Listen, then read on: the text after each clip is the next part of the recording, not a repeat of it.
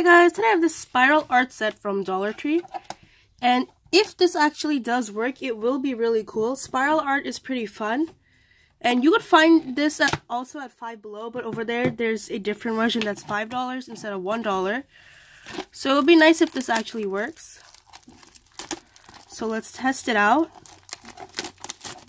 And speaking of Dollar Tree, I think I have a Dollar Tree playlist with all my Dollar Tree item tests.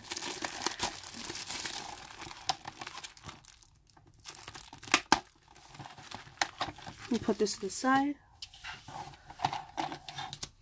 So it comes with four different like designs. And then you can open it. You could probably store paper here as well. I'll just leave this here. Can I close it? There we go. So let me just get some paper. So I just have a normal piece of copy or printer paper and I'll just cut it a little bit.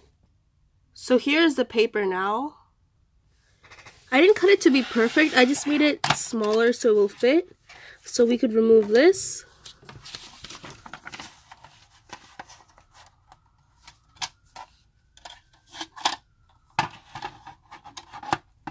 Maybe I should cut this off. So let me just cut this off. So I think it's good now. Put this on. Okay. So I'll just try it with the smallest, I'll just try with the biggest one first actually. So I have a pencil right over here.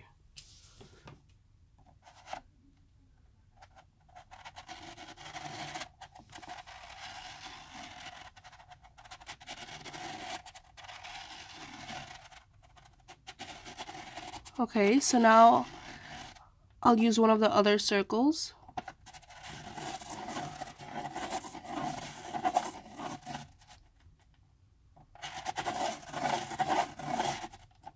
So it seems to be working. That got a little bit messed up over there. And it would be cool to use it with different use this with different colors, so I'll probably get some colored pencils as well.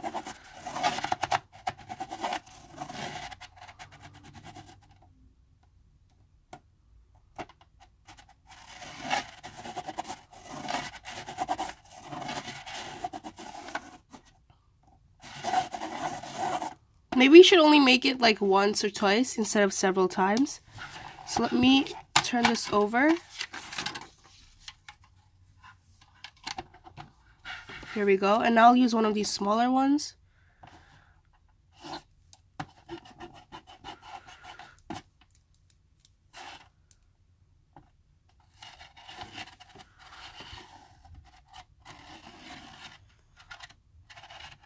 This is kind of weird.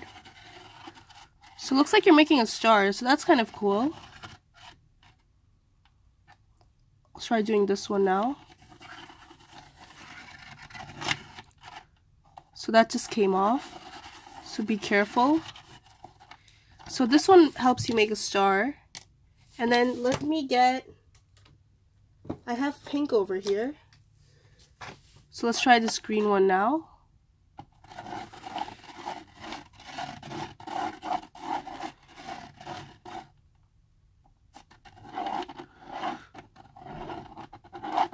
That's also kind of similar to the star. It kind of makes like a triangle-ish.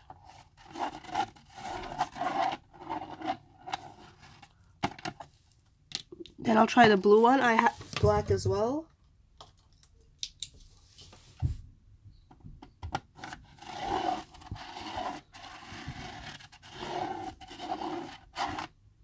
So that came off. So this is also kind of like a star.